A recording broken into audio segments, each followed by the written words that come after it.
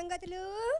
ఏమన్నాయి చెల్లి? పక్కింటి ఆవిడేమో టీవీ కొనుక్కుంది ఎదురింటి ఆమెమో ఫ్రిడ్జ్ కొనుక్కుంది మా వాండ్రమ్మేమో బంగారం కొనుక్కుంది. ఇవే కదా సంగతులు.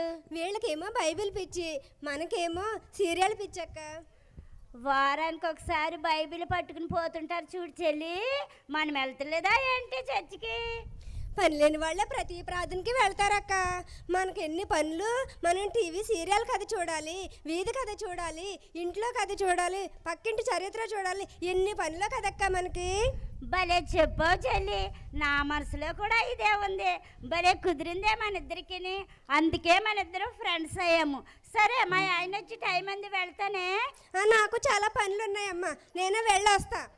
రూతమ్మా వందనాలు రూతమ్మా ఈరోజు ఆరాధన బాగా జరిగింది కదా? ఆ, అవును. నేను ఈ మందిరానికి వచ్చిన కానీ చూస్తున్నాను ఎంతమంది బాగుపడ్డారు? ఎంతమంది ఒంట్లో బాణలు బాగుపడ్డారు? ఎంతమంది దయ్యాల నుంచి విముక్తి పొందారు? ఎంతమంది ఆదరణ దొరికింది? ఒకటా రెండా? మన జీవితంలోనే ఎన్ని మేలులు జరగలేదు. అవును ఏసయ్య సజీవుడని ఈరోజు కూడా నిరూపించుకున్నాడు. అవును సరే సరే. ఈరోజు మా ఇంట్లో ప్రార్థన ఉంది. నువ్వు కంపల్సరీ రావాలి. మర్చిపోవద్దు. పాస్టమ్ గారు వస్తున్నారు. సరే మర్చిపోలే. తప్పగా వస్తాలే. సరే జ్యోతమ్మ. సరే. రూతమ్మా రూతమ్మా. ఏంటి ఇలా వచ్చావు? ఉదయకాలం ఆరాధనకి రాలే. ఏమైందో చెప్తావని వచ్చాను. ఇది క్రిస్మస్ నెల కదా? ఆ, ఇది క్రిస్మస్ నెల. ఆ, అవును. పాస్టర్ గారు అంతా ఏసయ్య పుట్టుక కోసమే వివరించారు. అవునా? ఓకే ఉంటాలే. సరే భర్తమ్మ. మంగమ్మ గారు మంగమ్మ గారు. ఏంటి భారతమ్మక్క ఇట్లా వచ్చినావు? ఏమీ లేదు మంగమ్మ గారు నిన్నటి సీరియల్ నేను చూడలే. ఏమైందో చెప్తావని వచ్చాను. అదే భారతమ్మక్క మనం రోజు చూసే సీరియల్ నేను చూడలేదు. తర్వాత వచ్చి సీరియల్ చూసినాను. సరే అదే చెప్పులేమ్మా ఏముంది? ఆ పిల్లోడు మిద్ది మీద ఉండి చూపించాడు కదా కింద పడిపోతూ. వాడు చచ్చిపోయినాడు భారతమ్మక్క. చచ్చిపోయినాడా? వాడు ఉంటాడు ఏదో సాధిస్తాడు అనుకున్నాను భారతమ్మక్క. వాడు చచ్చిపోయినాడు భారతమ్మక్క. ఫోన్లే ఏరో ఈరో వస్తాడులే వెళుతున్నా. సరేలే సంగతి తెలిసక వెళ్ళిపోతావు కదా. మంగమ్మ గారు మంగమ్మ గారు. వందనాలు మంగమ్మ గారు. వందనాలు వందనాలు. ఏటో తమరు వచ్చిన విశేషం ఏంటో ఏమీ లేదండి. ఈరోజు మా ఇంట్లో ప్రార్థన పెట్టుకున్నాం. మిమ్మల్ని పిలుద్దామని వచ్చాను. ప్రార్థనకా? నేను రాలేనమ్మా. ఈ ఒక్కసారి రండి మంగమ్మ గారు. ప్రార్థన చాలా బాగుంటుంది. ప్రార్థన నేను రాలేనమ్మా. అట్లాంటి వాటి మీద నాకు నమ్మకం లేదు. నేను రాలేను స్వామి. ఈ ఒక్కసారికి రండి మంగమ్మ గారు. మీకు అద్భుతం జరుగుతుంది. నేను పోయేదే క్రిస్మస్కి ఒకసారి. నేను రాలేను నన్ను ఇబ్బంది పెట్టుకోరుతామ్మా అవును మంగమ్మ గారు పోయిన క్రిస్మస్ మీరు వచ్చారా? ఆ క్రిస్మస్కి వచ్చినాను. నాకు ఆయన ఏమీ చేయలేదు. అందుకే రాకూడదు అనుకుంటున్నా. ఈసారి రండి. మీకు మంచి అద్భుతాలన్నీ జరుగుతాయి. నేను రాలేనమ్మా నన్ను ఇబ్బంది పెట్టుకో. అయ్యో అలా అంటారేంటి మంగమ్మ గారు? మన వీధిలో వస్తారని నేను ఎన్నో ఐటమ్స్ తయారు చేశానండి. నాన్ వెజ్ కూడా చేశానండి. మటన్ వండాను చికెన్ వండాను ఎగ్స్ వండాను ఫ్రాన్స్ వండాను. మీరందరూ రాకపోతే అవన్నీ వేస్ట్ అయిపోతాయి మంగమ్మ గారు. ఈరోజు భోజనం వండక్కర్లేదు. ఈయన ఎప్పుడు తెమ్మన్నా తయారు మంగమ్మ గారు ఏం ఆలోచిస్తున్నారు? ఆ, ఏమి కాదమ్మ ఇంటి దాకా వచ్చి పిలిచినావు కదా రుతమ్మ. రాకపోతే బాగుండదు కదా. వస్తాలే. చాలా వందనాలు మంగమ్మ గారు. వందనాలు. తప్పకుండా కలుసుకోండి. సరే అమ్మ వస్తాను. సుబ్బమ్మ గారు సుబ్బమ్మ గారు. వందనాలు సుబ్బమ్మ గారు. వందనాలు రూతమ్మ గారు. ఏంటి ఇట్టా వచ్చేసినారు ఈరోజు మా ఇంట్లో ప్రార్థన పెట్టుకున్నామండి. మిమ్మల్ని పిలుద్దామని వచ్చాను. అవునా? రండి ప్రార్థన చాలా బాగుంటుంది. అద్భుతాలు జరుగుతాయి మీరు ప్రార్థనకు వస్తే అద్భుతాలా? అద్భుతాలు అంటే నాకు చాలా ఇష్టం అండి నేను వస్తానండి. తప్పనిసరి కలుసుకోండి. భారతమ్మ భారతమ్మ.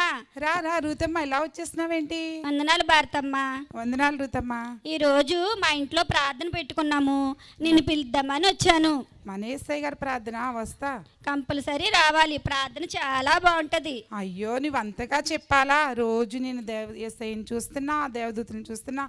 కంపల్సరీ వస్తాలే. నీ ప్రార్థన విషయం నాకు తెలీదా? వెళ్తున్నాను భారతమ్మ. Okay okay. రాధమ్మా రాధమ్మా. ఆ ఏంటి బాతమ్మా ఇట్ట వచ్చావు? ఏమీ లేదు రాధమ్మా అదే మా వీధిలో రూతమ్మ ఉంది కదా. ఇవాళ సాయంత్రం వాళ్ళ ఇంటికాడ ప్రార్థన అంట నన్ను పిలిచింది నిన్ను కూడా తీసుకుపోదామని వచ్చాను. నేనట్ట వచ్చేదమ్మా నాకు చాలా పని ఉంది చుట్టాలు వేరే వచ్చారు. నువ్వు అలా అనుకురాదా కంపల్సరీ రావాలి. నాకు రావడానికి కుదరదమ్మా. కంపల్సరీ వస్తున్నావు అంతే. సరే అయితే చూస్తాలే మరి. రాధా రాధా ఆ ఏంటి కొండమ్మా ఎట్టా వచ్చావు? ఆ, ఏమీ లేదు భారతం ఏంటో మాట్లాడుతుందని. వాళ్ళ వీధిలో ప్రార్థన ఉందని చెప్పింది. నాకు పని ఉంది నేను రాలేనని చెప్పాను.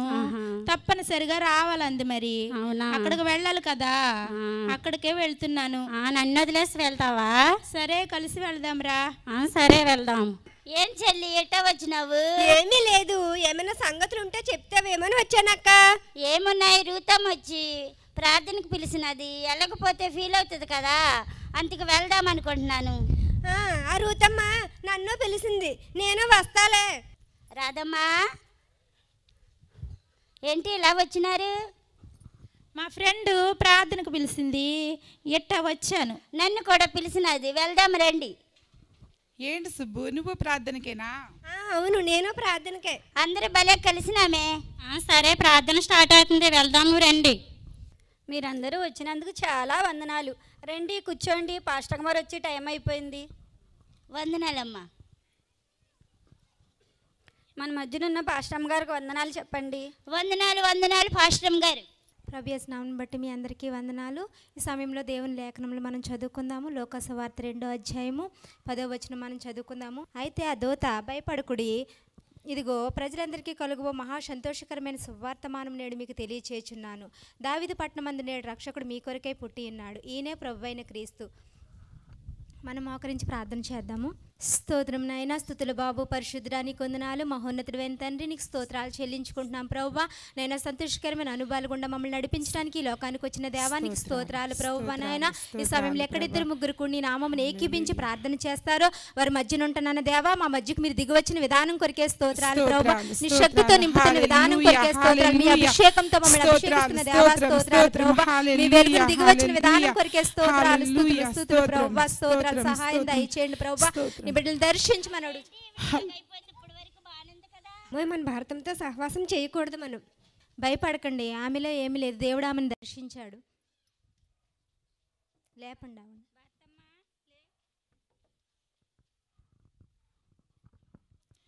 ఈరోజు నాలో ఉన్న చీకటి బయటికి వెళ్ళిపోయింది.